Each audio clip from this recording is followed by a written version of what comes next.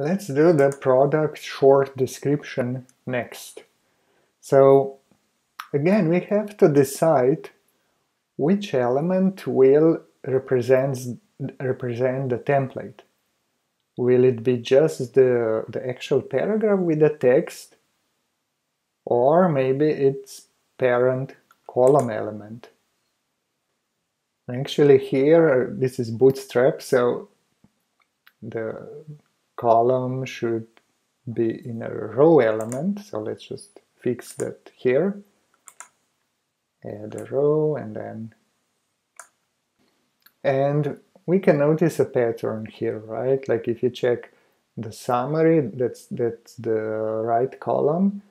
And then the row is product title the second row is product rating.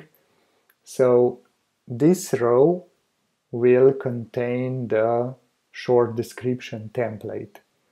And it doesn't just contain the text it also contains like the the horizontal line and, and the whole like bootstrap layout for for this element. So let's select the row product short description and that creates single product short description template and we have to set like the element that will actually contain the, the text.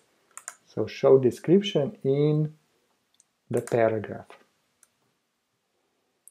Okay, and then let's save and by doing save we also export the page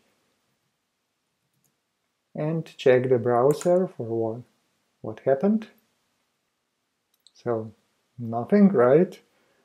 Well, it's the product probably doesn't have the short description set.